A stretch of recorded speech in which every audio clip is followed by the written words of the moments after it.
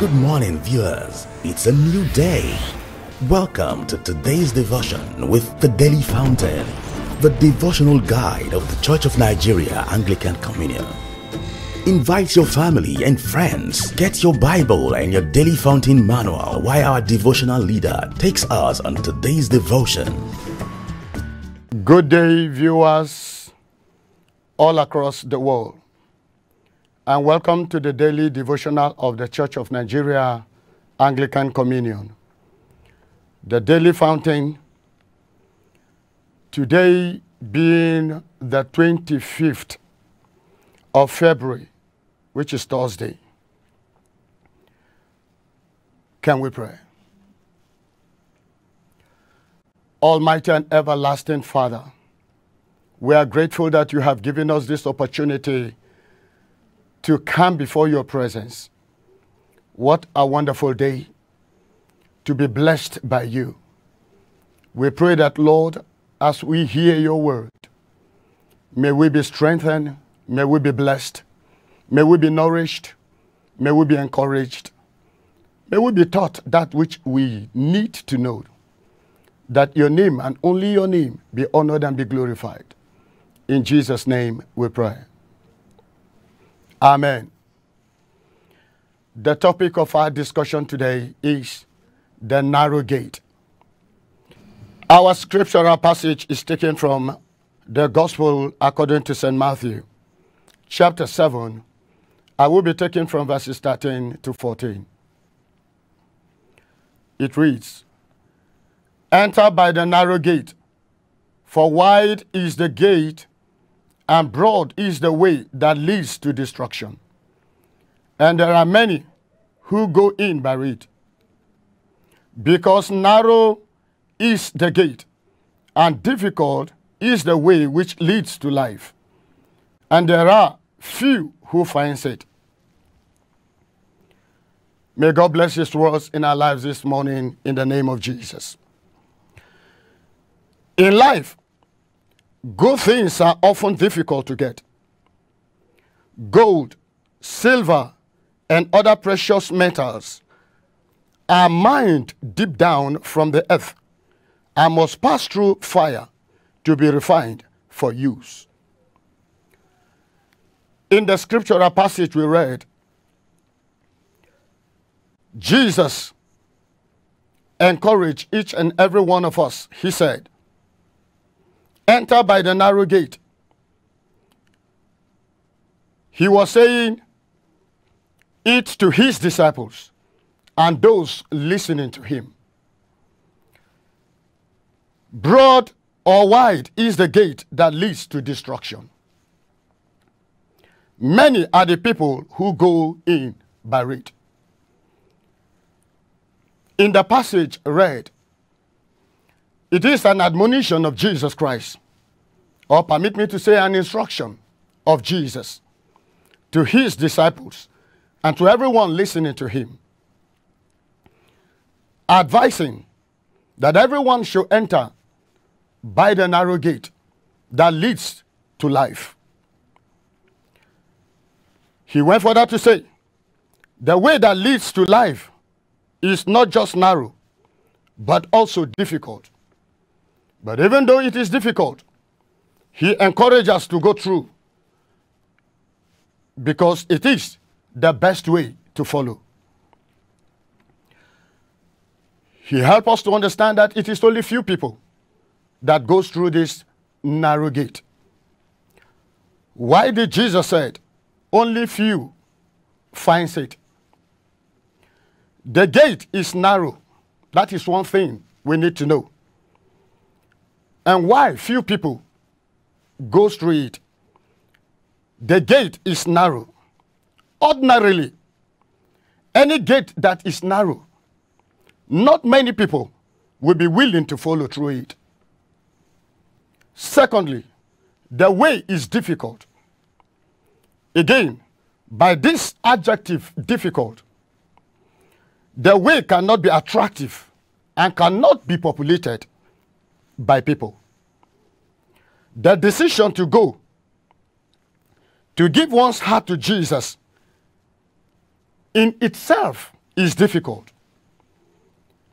Making difficult choices and doing difficult things for God is not just easy. And these are the reasons why going through the narrow gate is difficult and is hard. In Luke chapter 13, verse 24 says, Strive to enter through the narrow gate. For many, I say to you, will seek to enter and will not be able. Again, Jesus is saying there that we should strive to enter this narrow gate, even though it is difficult, even though it is hard. But his encouragement is we should strive to enter through the narrow gate. In Lucan narrative, Jesus is calling on everyone to strive to enter. Because a time will come when you will want to go in, but you will not be allowed. Or when one will want to go in, he or she may not be allowed. Why?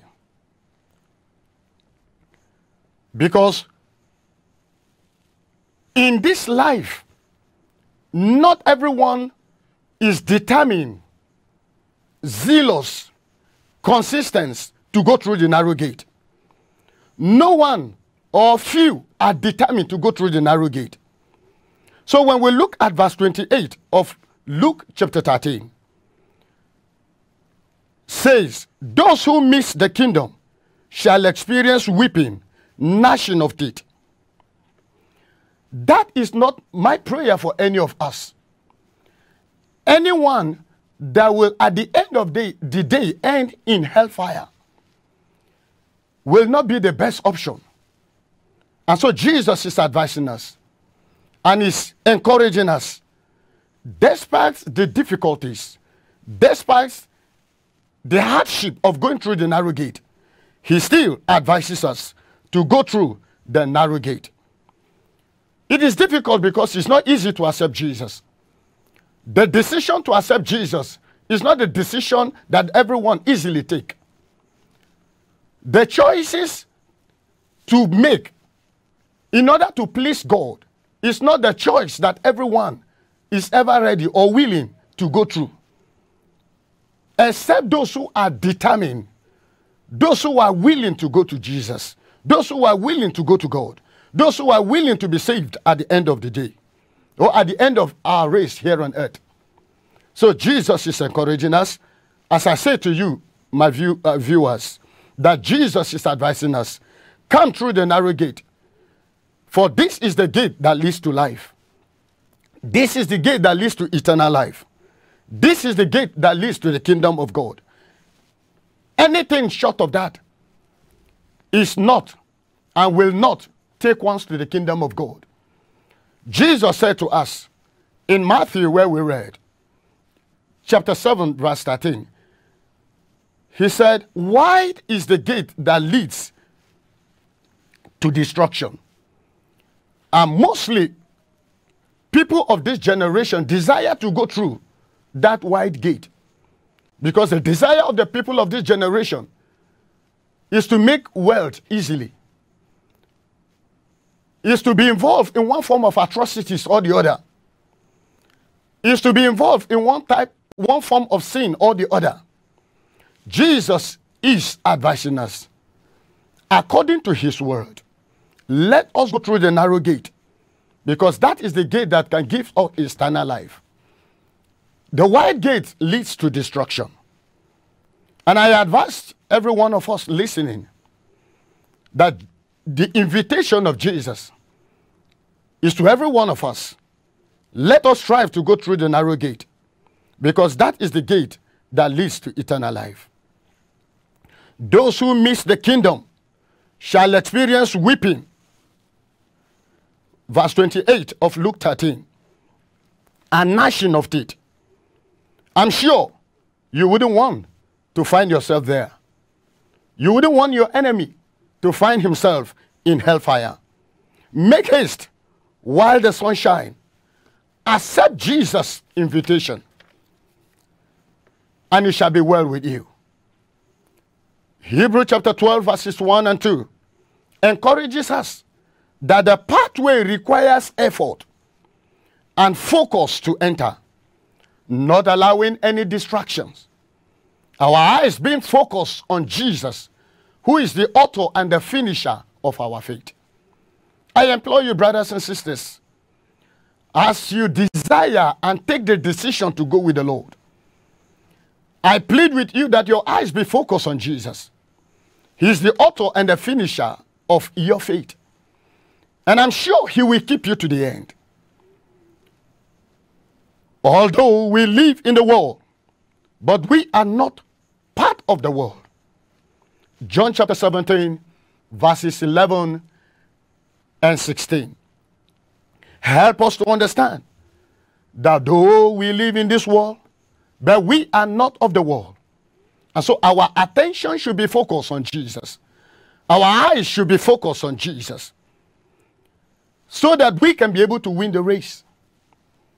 In the world, one shall face tribulation. But the scriptures encourages us, be of good cheer, for Jesus have overcome the world. And so, as you listen to me, I encourage you this morning, brothers. Let us encourage ourselves in the Lord that the grace we have is in Christ to be able to run the race and to be able to focus in Him.